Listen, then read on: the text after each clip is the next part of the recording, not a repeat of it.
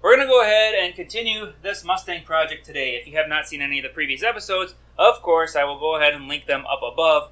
However, if you are watching this and continuing the episodes, I am going to finish installing as much as I can today. My hope today is to get the front clip, all the cooling system on, and that's probably where I'm going to leave off. We'll see how far I get.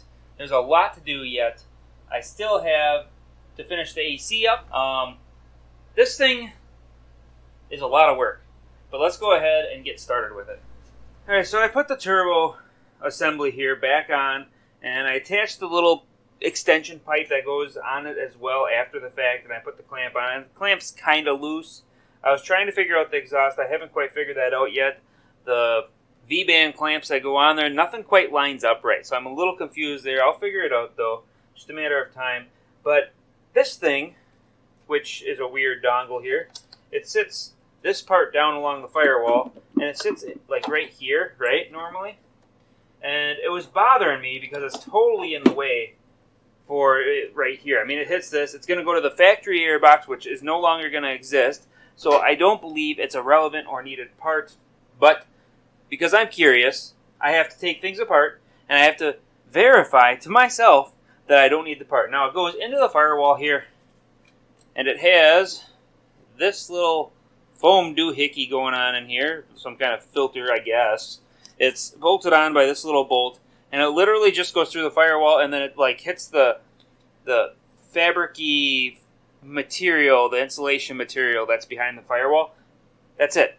That alone made me go, what the heck would that be for, right? What in the world? So I thought, what's it do? Can I blow through it? I tried blowing through it. I tried blowing through it this way. Nothing. No airflow, no matter what way. I try and blow through it, or suck through it even, and it just no airflow either way. So I thought, okay, let's pull it apart, see what it is. My curiosity, once again. So I pop this guy off, and I have here. There's a rubber diaphragm.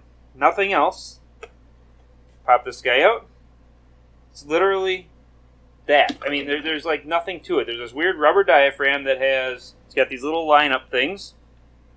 I line up on some holes, and it seals against the inside of this guy. I, I don't understand. Uh, anybody? Do you guys know what this thing would be for? What is what was Ford's intention with this weird contraption? What are your thoughts? Let me know in the comments below. I'm very, very curious. I will go ahead and throw this sticker part number up on the screen, and you can go ahead and look it up on your own time if you like. So I have also taken, put the oil cooler lines for the transmission in place. I have that AC line kind of in place, but I want to wait till I figure out the exhaust to finish that. But that got annoying to me. So I'm just moving on to something else for now. Maybe I wasn't seeing something correctly, whatever. For now, what I'm going to start doing is this front area. So I do have to do the oil cooler lines for the turbos here. So I'm going to kind of start looking into that. Oh, this turbo's missing one of the bolts. I don't have anything tightened down because I don't know where it's going to need to be indexed yet. I know it's got to be roughly, you know, I mean, there's no nowhere it can really go. It probably goes right in the middle on that one. This guy here, I'd imagine it's going to come closer to this. That'd be my guess. Uh, I'm not positive yet, but I have to index the center carrier for the oil and the drain, and the drain for the oil. I'm not even sure how that's going to hook up yet. I probably should have thought about that before I even put the engine in. That may bite me in the rear later, but I guess I will see. So I'll look into that as well. And then over here, I'm back on a little bit of a wiring task again. So this connector here is obviously not going to even come close to this connector here. These two need to connect. So I imagine I have to extend this out. So I peeled the sheathing off of this wire harness area. And what I'm going to do is I'm going to snip these guys and then extend the wires so that I can actually plug it into here because I'm pretty positive. Yeah, that connects. Definitely connects. So I'm positive that this guy connects to that because these are the only connectors left there. This is going to be for the fan, and then of course this is like lights and whatnot. So I'll get all the lights and stuff taken care of as well, but that won't be until the bumper's on. So I'm going to get all this stuff taken care of. I'm also going to start working on getting the cooling system installed after all of that. So here I am putzing with the turbos and trying to figure out the oiling part of it. The lines that feed the turbos are kind of short. They include a Y, so I assume they're trying to get me to Y it to one union and then run it from there to the turbos. Even so, they're a little bit short and they're going to string across the belt system, so I might actually replace those lines with something a little bit better.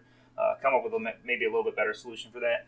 But in the meantime, I decided I'm going to try and do the drain pipes, see what those are looking like so I can get an idea of where those are going to run as well. And I put this one originally on that side. Now, since I tightened it down, I don't want to remove and install the gasket again. Instead, I'm just going to go ahead and transfer the cartridge to the other side. But this one over here, I cannot move it to the correct position. And because of that, the turbo does not sit. So what you want is do you want the drain on the bottom and this on the top because gravity you want to make sure that the oil can drain out as best as possible. When I had it over there, it was canted a little bit, no matter what I did, because it would get too close to this guy here. So I'm going to go ahead and set it over on this side, and then we will see what it looks like when it's on this side. It should work a little bit better over here. Oh, even that does not work very well. So that fitting just might not be a good fitting for this system here unless I have to flip it around. So I'm going to do that once. I'm going to flip this thing around, and then we will see how it fits on either side that way. Well, that's unfortunate. So, if I have it on this side here, it straight up and down with the oil, it's going to hit the wastegate pipe there. If I put it over on this side, straight up and down, it's going to hit this part of the fender well area. So no matter what side I put it on when it's flipped that way, it doesn't work either. So this fitting is just not set up very well for this car. I don't know why they included that. I'm going to have to try and find a different fitting. More like the one that's on the other cartridge here, where it's just a straight fitting like this. So I'm going to try and find another one of these. I think I have one in one of my assemblies of parts sitting around here somewhere. I'm going to see what I can find. Hopefully I have it, and I can make something work here. But I cannot use that other one. So I have pretty much the oiling system accomplished for the turbos. I still got to do the vacuum lines here for the wastegates. That won't be a very big deal. Now, the On3 kit comes with this little line here, this T, and then these flexible dash 4 lines. What they originally expect you to do is, and it also comes with a nipple for the oil filter adapter, they expect you to go from the oil filter adapter to this T with this line, okay? So thread that guy on there, and then of course, hook up to the oil filter adapter somehow, right? And then they expect this guy to have this line come here, this line come here. Now, if I were to do that, it wouldn't be long enough. You'd literally have to, like, bring this thing up here or something to make the lines long enough. Then your lines would be stringing all up in the engine bay here. I don't like that. So I decided to opt out of using this thing Instead, what I've done is I used two of the fittings. I grabbed another one of my fittings that I had, and I put that in that oil filter adapter. The oil filter adapter comes with three different holes in it. So I used two fittings on there and ran this line to a line that I made out of a soft aluminum. It's a it's a hard line, I guess, but it's a soft aluminum line, and uh, uh, hooked it up right here, and then put a nice little fitting here to hold on to it. I don't know how well you can see that from your view, uh, but I put that fitting there, and then I ran this to, to extend it to the oil cooler housing, and then I ran this one directly to the housing because it had plenty of length for that. So by doing that, I kept the lines out of the way and clear of any belts or anything like that. That way, there's no, if you reach your hand down there, you're not hitting a bunch of crap, right? And then the oil drains, they originally wanted you to use this push lock type AN fitting hose, and then of course the other goofy thing that I already talked about. And I have chosen to go with these hard lines. Now this one is completed. I did end up dinging this spot because I kinked it. I had to unkink it. I didn't want to make a new line just for that. It's way down here. Nobody's going to see it anyway. Uh, but I ended up going with hard lines here, and I ran the fittings right into the oil pan down here. Now, if you want to know more about how I did the fittings in the oil pan, I do talk about it in this video up in the corner. So be sure to check that out if you're interested. But this guy here, I do not have the fitting for this yet. I'm not sure what I'm going to do there. I might have to run a small extension because the band clamp is in the way. Now the extension that they provided, this guy here, as I talked about, it does not quite sit right no matter what I do with the thing. Although now, now that I'm looking at it, it almost looks like it would fit on this way. I'm gonna double check that quick. Oh no, no, it ends up hitting the the wastegate outlet there. So either they put this thing on in the wrong angle. It's almost like they should have twisted this this way and they just attached it wrong or something. I'm not sure. But I ordered a different fitting that just has a pipe thread on here. So I'll thread a fitting onto it and run it down. Uh, I think I can use a short piece of extension pipe on there or maybe straight to the fitting. Regardless, whichever way I do it, I should be able to get it to work. So for now, this line is loose and that's going to be one of the drain lines. Of course, the other one's already in. That one's tightened down because that one's good to go.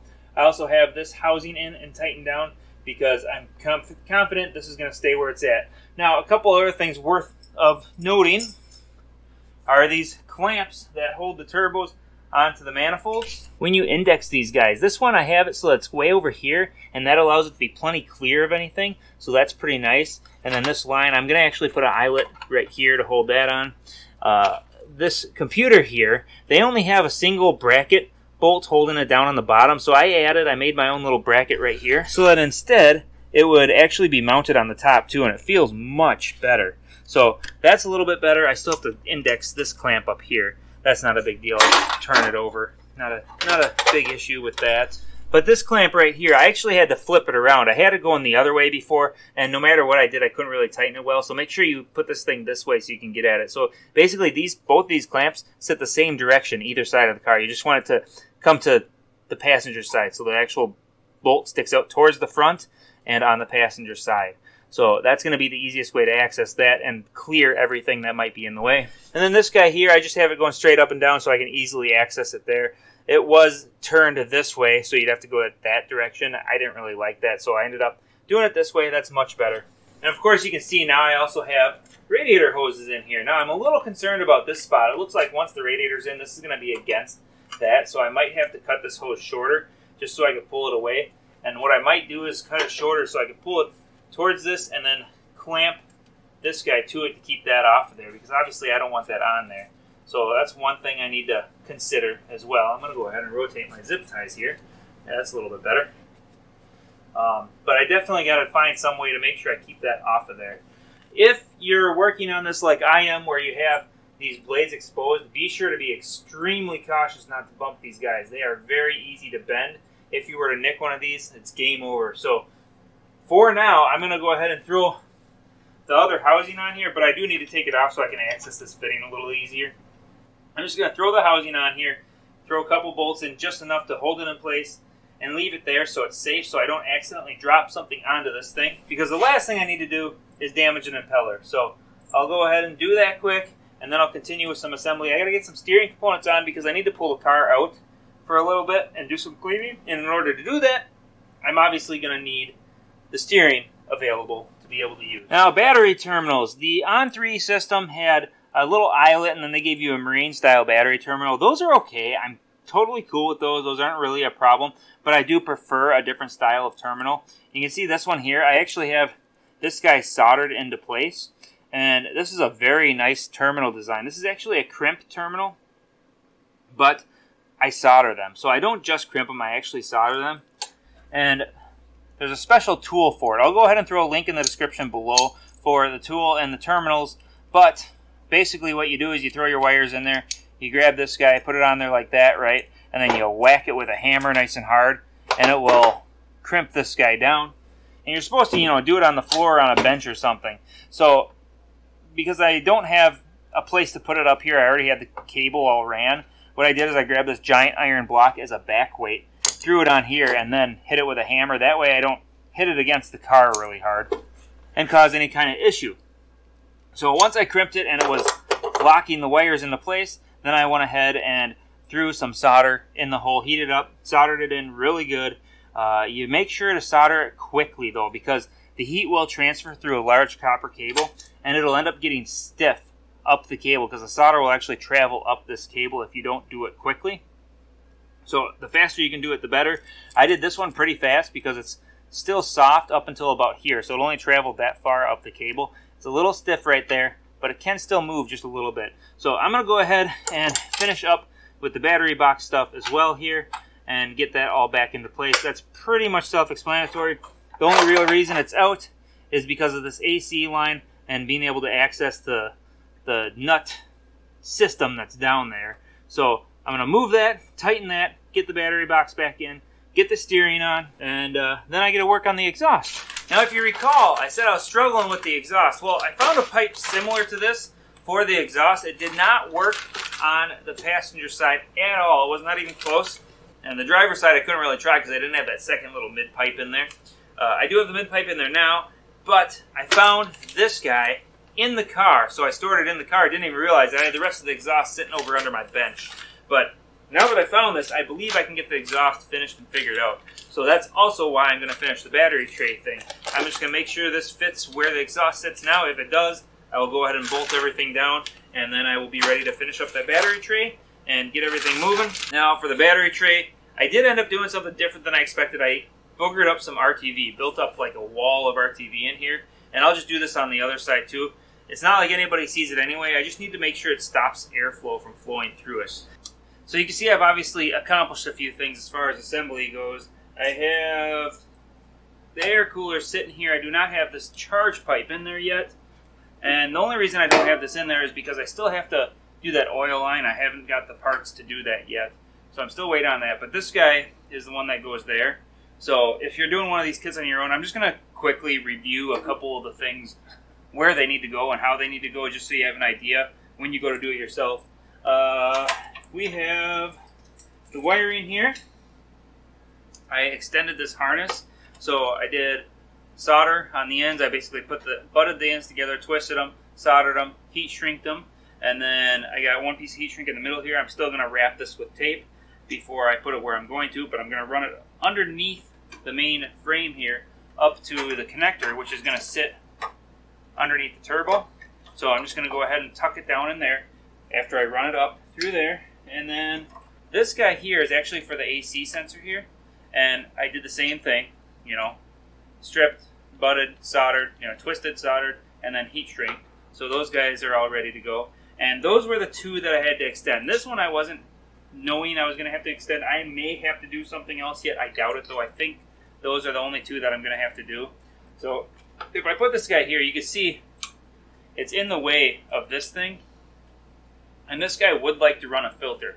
So I'm going to have to come up with some kind of crazy solution here where I create an inlet pipe of some sort out of 4 inch aluminum elbow. I may have to cut a chunk of it out and weld like a, a humped area into it just so that it can actually function properly. Now, this might be a 4 inch pipe here, but the actual compressor wheel inside diameter is much smaller. This is only a 55 millimeter turbo, so it's much smaller on the inside there. And uh, because of that, I can get away with putting a hump here without affecting airflow too badly. As long as I keep the hump to a minimum, it should be fine. So I'm going to go ahead and get this guy taped up and then do that. Now, there's a couple brackets I was confused about early on when I was trying to figure the system out before I actually started assembling them. But I did figure out where they go, and they do have to be modified to use them. I wish On3 would have done this from the get-go when they built the kit. And then as far as the charge pipe stuff goes, I don't have any clamps on yet. I was just trying to fit things. But this weird squiggly aluminum fabricated small pipe goes to this turbo here and then comes up and then you have a 90 degree silicone hose elbow here. And then the shorter, smaller one, the reducer coupler, and then you have the large pipe going into the throttle. So the blow-off valve is going to sit here, obviously, and then there is this little guy, which I think is probably for, if you recall, I remember I mentioned this thing is far too close to this wastegate here, and I was going to have to pull it away to make it work. Well, right now, it's kind of in a bad spot as well. So I have this hose on here. This is the factory hose. I did shorten the hose a considerable amount. I cut this much off of it to get it to clear. Now, perhaps this guy is some sort of a replacement for this. Maybe it sits like that. I don't know. Still doesn't seem very useful.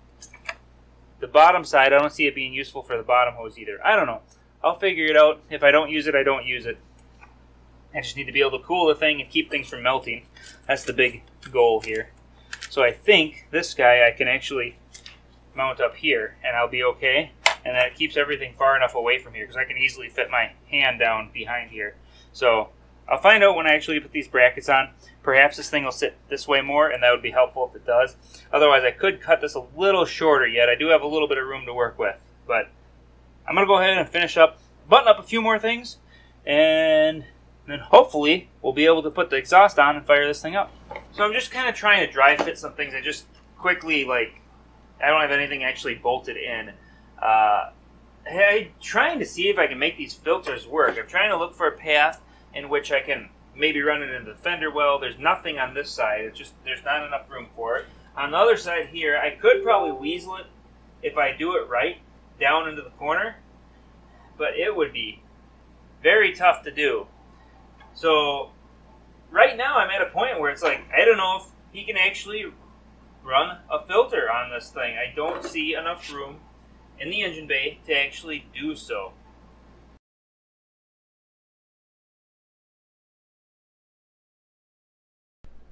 So I am struggling big time right now with several things as far as fitment goes. Uh, I have this deal here. The air filters are there's no way in hell they're gonna fit. I mean they are so so far off from fitting. It's crazy. So I do have a plan, and I am gonna run some stuff through there. I found some rubber four inch to three inch couplers that I can put on here, and then it's like at a 45 degree angle, and that'll work out really well with some 45 degree 3 inch pipe. And then I have a coupler that goes from the 3 inch, that's aluminum, that goes from the 3 inch here to a 4 inch. That way I can attach the 4 inch air filter on there and he can still have his 4 inch air filter. So that problem is solved. But you can also see I have the wheel turn. Why do I have the wheel turn? Well, fitment issues, once again. So, This on-3 bracket here, this is what's supposed to be for the fuse box, and I originally complained that it didn't fit the fuse box very well. Uh, I believe this is probably for the 2017 and previous models. It probably fits that fuse box better.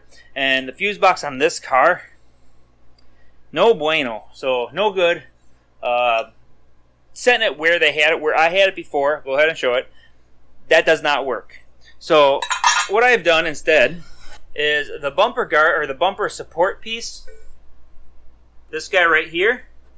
It had a couple of brackets that came from this thing down to here, but now there's the intercooler and intercooler brackets all in the way, so I can't use these brackets anymore. They used to sit, you know, like in there like that, but it gets in the way of this guy here, so I can't use these things. So what I did instead is I used this to actually mount the electrical box.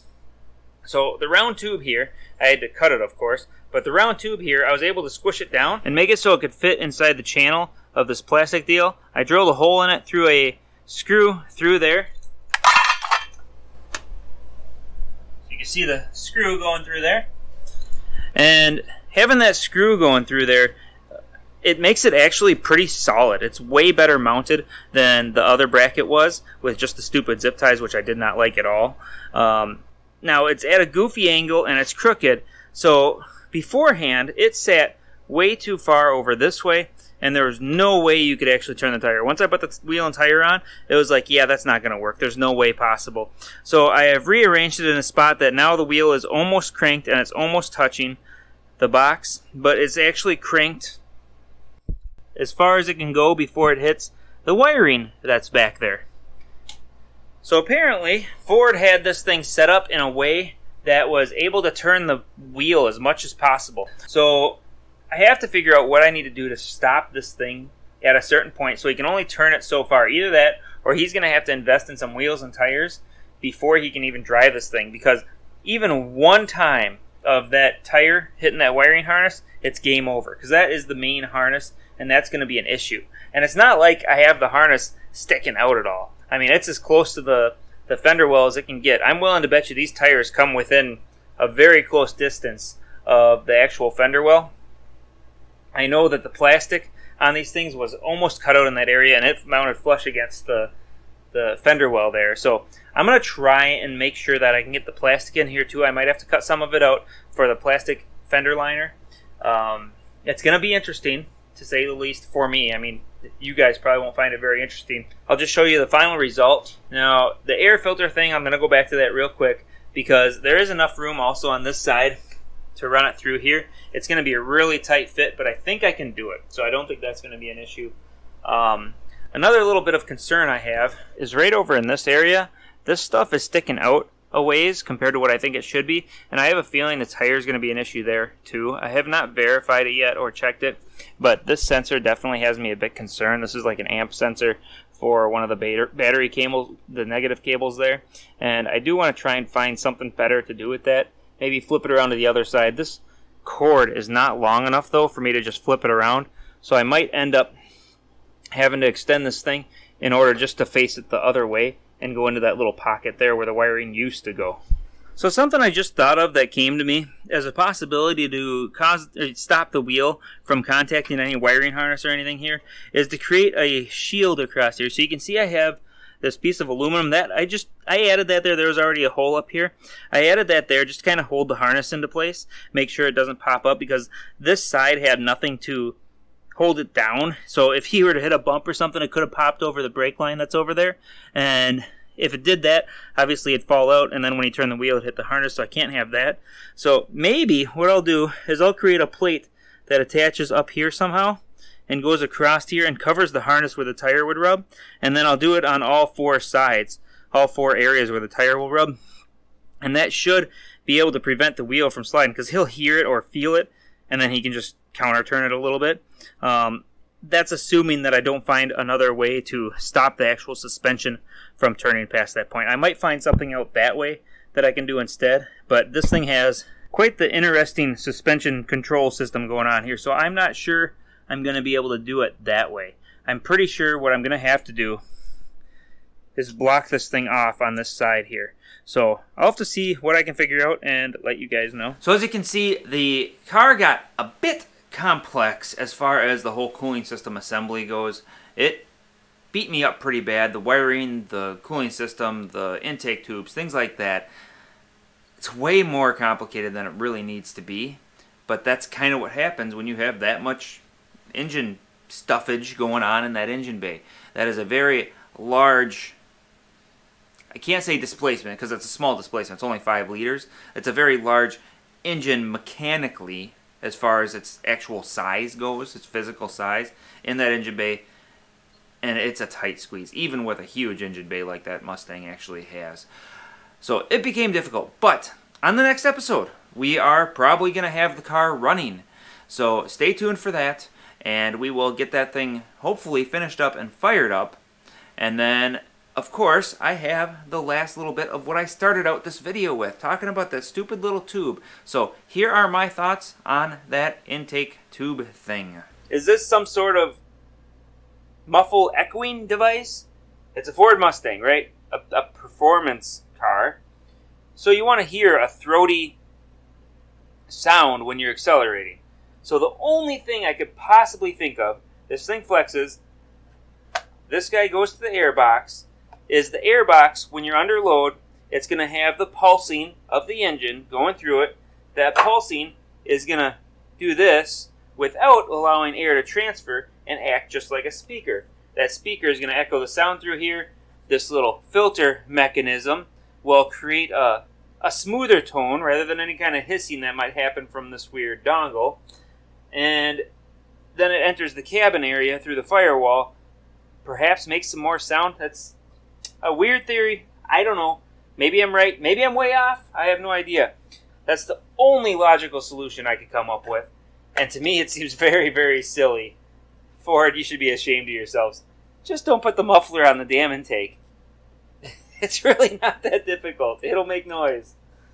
Whatever. But that's, of course, assuming that's what this thing is for. With that, like, share, subscribe, and as always, I hope to see you on another video. Thanks for watching.